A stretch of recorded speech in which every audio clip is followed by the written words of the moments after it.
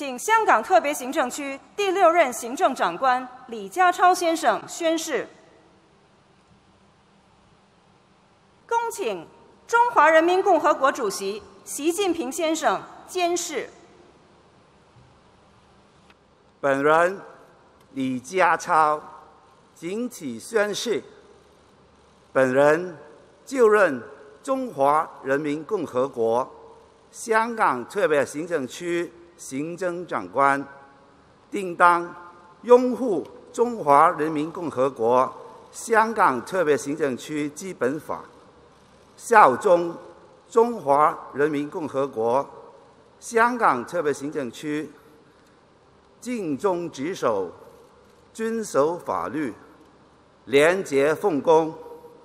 为香港特别行政区服务，对中华人民共和国中央人民政府和香港特别行政区负责。